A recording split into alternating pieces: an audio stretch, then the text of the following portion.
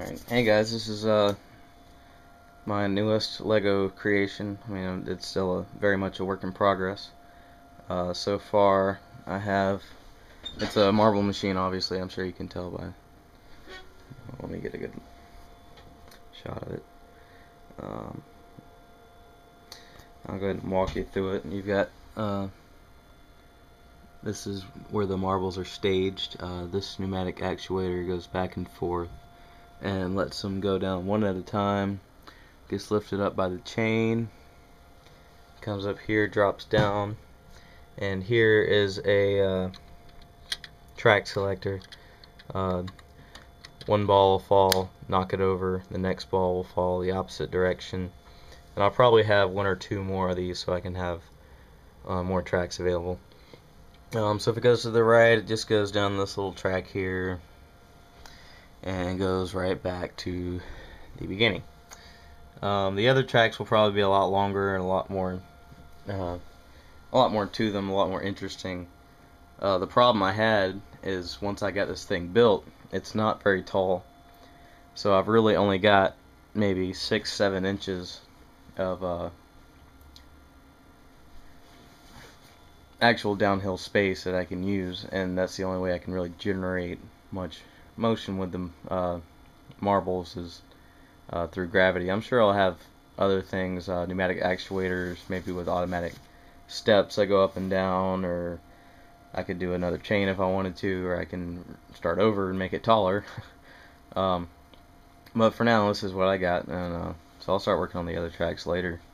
It's actually like one of the most uh, advanced, or not advanced, but complex uh, pneumatic systems I've ever created because uh, this actually started as something completely different, at least this bottom part here, and then I started with everything else and built around it.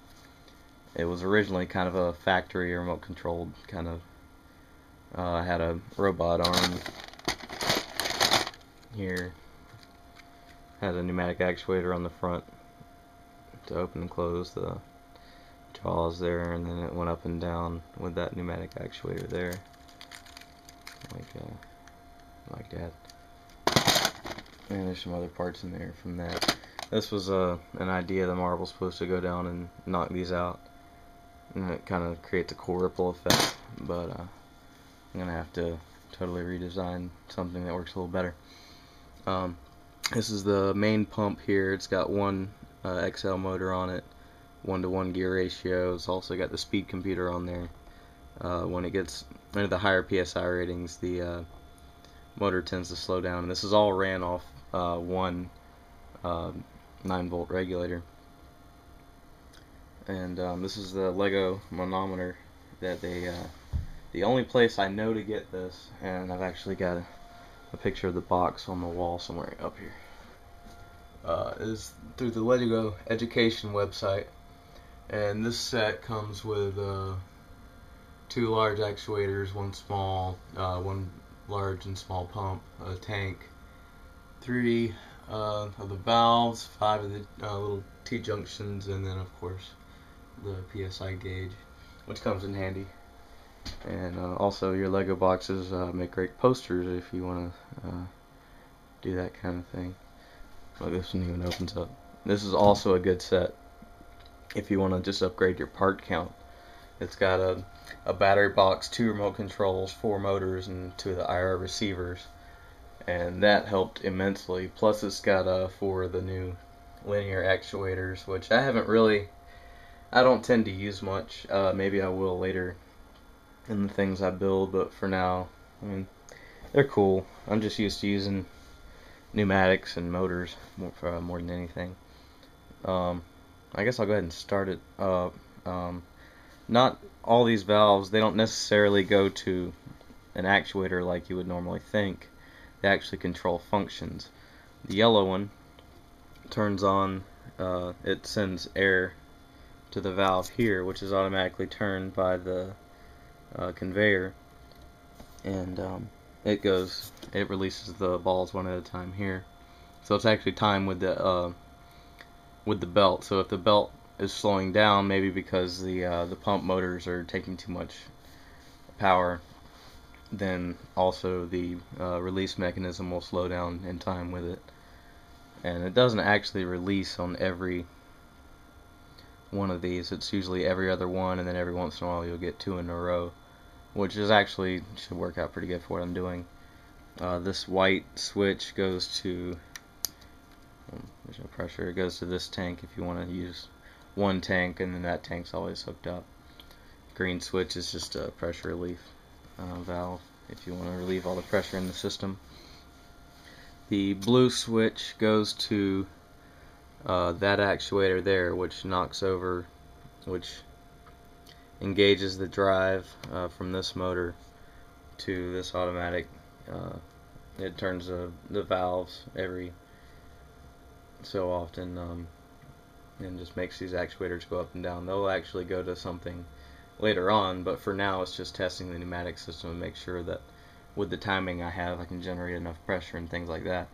Which I did kind of have a problem with um, with pressure because the um, the large cylinders are using a, lot, a good bit of the air and they do fine, but the small actuators like that one and that one, they actually tend to need a lot more pressure to uh, to operate something depending on what the load is because they have such a, a smaller um, pressure plate. Like there's just the pressure area is just so much smaller you have to have a greater uh, pressure to be able to do any work with it. Um, this is the auxiliary pump back here. It's got four of the small pumps and it's powered by that same motor going through universal joints. Um, this gray switch here turns that on and off. Like otherwise, those pumps will just uh, pump away, and all the air is pumped away. It's not actually pressurized or used for anything. Um, and the way I did that was it it comes in through this tube. Um, one tube goes out from the middle one. It goes out to the rest of the pneumatic system uh, the right side goes to, um, this is just a block, um, so no air can get past it. So if it's pumping and you turn it if, and it's off, it's actually going to go from this left nozzle into air, into open space through the switch automatically.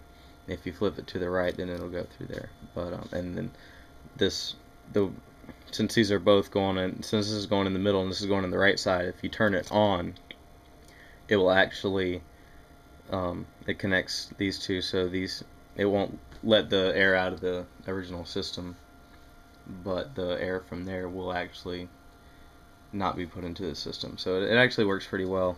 I'm kind of explaining it strangely but uh, oh well. Um, so I guess that's about it. I'll go ahead and fire it up and show you what we're working with. Alright uh, I'll turn off the auxiliary pumps oh. This is a pressure switch. It's from a design from a guy online. Uh, I need different rubber bands. and also the pneumatic actuator is kind of iffy. But it will pump and continue pumping. It's actually a pretty high velocity pump for like I mean I've seen better, but I mean for Lego it does pretty good for what I'm doing here. So it pumps up between 20 and 30 psi, and, and um, this switch shuts off the uh, the pump. Um, so I flip this switch, and now this is working. So it'll, one at a time, let them marble out. And there's actually a spring under there. And it, it works pretty well. Because I wanted a, a, good scooping motion. I, I tried a bunch of different stuff, and this just seemed to work the best. Alright, now this is the landing ramp here. They just come down here. I gotta. Alright.